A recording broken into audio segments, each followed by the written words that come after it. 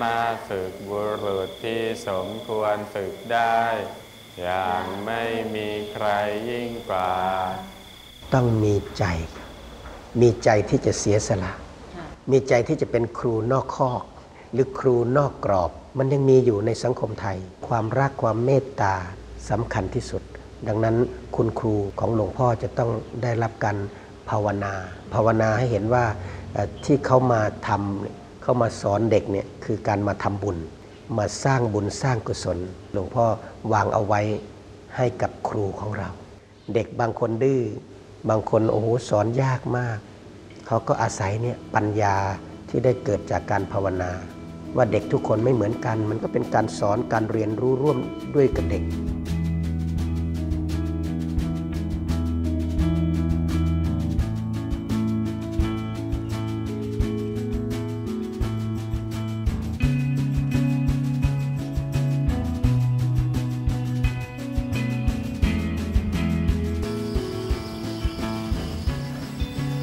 ครั้งแรกๆมาเนี่ยเราก็จะให้เขาเข้ามาสัมผัสวิถีของเราก่อน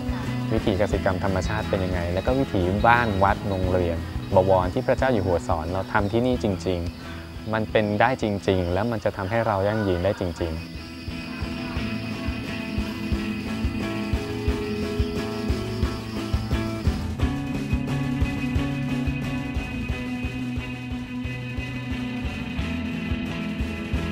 ทุกคนที่นี่คืออาสาสมัคร เรามาเนี่ยเราสมัครใจมา สมัครใจมาทำอะไรทำสิ่งที่พระเจ้าอยู่หัวสอน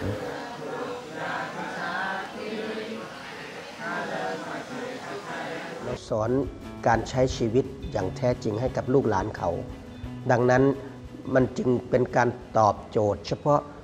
คนที่มองเห็นการศึกษาทางเลือกนี้ว่า จะพาชีวิตลูกหลานเขารอด สิ่งที่เราสอนเราสอนพึ่งตนเองด้วยวิถีกสิกรรมธรรมชาติสองอันเนี้ยก็จะแตกออกมาเป็น 2 วิชาหลัก ซึ่งวิชาแรกคือวิชาของการพึ่งตนเอง เครื่องมือให้เขาพึ่งตนเองได้ก็คือวิถีกสิกรรมธรรมชาติ ว่าง่ายๆ คือวิถีของพ่อแม่ปู่ย่าตายายเราเนี่ยที่เขาทำทำกันมาแต่เราลืม ปูทะเล มหาวิชาลัย คือชื่อเล่นของโรงเรียนนี้ อีกชื่อที่เป็นทางการคือ ศูนย์การเรียนกสิกรรมธรรมชาติมาบเอื้องนักเรียนกว่า 20 คน ผ่านการศึกษาในระบบมาจากหลายระดับชั้น การมาใช้ชีวิตกินนอนอยู่ด้วยกัน พื้นที่นี้จึงเป็นที่แลกเปลี่ยน เรียนรู้วิชาชีวิตของทั้งเด็กและครู เด็กก็สอนเราด้วยเยอะเลย ธรรมชาติก็สอนเราคนที่นี่ทุกคนสอนเราหมดค่ะ ตัวคุณครูด้วยกันเองคือคือถ้าเราถ้าเราเรียนรู้อะทุกอย่างมันเป็นครูเราได้หมดเลย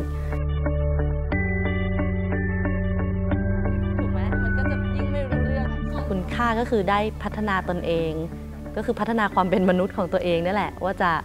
ช่วยเหลือคนอื่นได้มากเท่าไหร่ เติมเต็มตัวเอง แล้วก็เติมเต็มคนอื่นได้เท่าไหร่ อันนั้นก็เป็นเหมือนผลพลอยได้ที่มาอยู่ที่นี่ นี่คือประตูอีกบาน ความพยายามของการจัดการศึกษา ที่เลือกคิดและทำในแบบที่แตกต่าง เพื่อสร้างคนผ่านการใช้ชีวิตในแต่ละวัน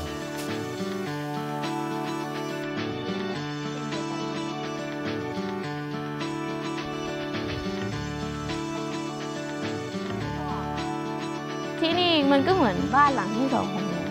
ทั้งกอนี่เลยค่ะอ๋อมแซบที่บ้านพี่มีไหม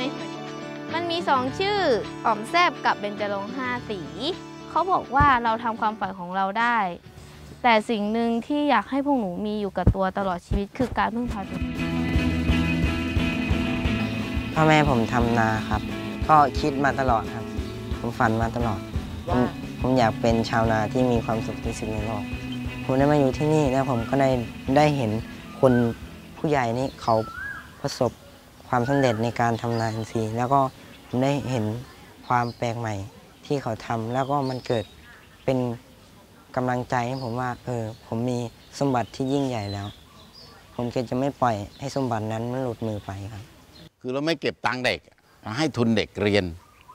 ก็คนศรัทธาแหละก็มาร่วมกันเหมือนวัดอะพ่อแม่ศรัทธาส่งลูกมาเรียน มีคนศรัทธาส่งส่งทุกอย่างมาช่วย แต่ที่สำคัญที่สุดเราฝึกให้เด็กช่วยตัวเอง ให้เด็กหากินเป็นนะเพราะว่าปรัชญาการศึกษาของเราคือหนึ่งต้องเป็นคนดีมีวินัยสองต้องพึ่งตนเองได้ เขาต้องเลี้ยงตัวเองให้ได้นี่คือเป้าหมายของการศึกษา แล้วเราก็จะปั้นเด็กให้เป็นคนชอบอะไรก็ปั้นให้เชี่ยวชาญเรื่องนั้น สุดท้ายก็ต้องกระตัญญูกตะเวทีสีข้อเนี่ยผมคิดว่าเป็นเรื่องใหญ่ของสังคมทุกวันนี้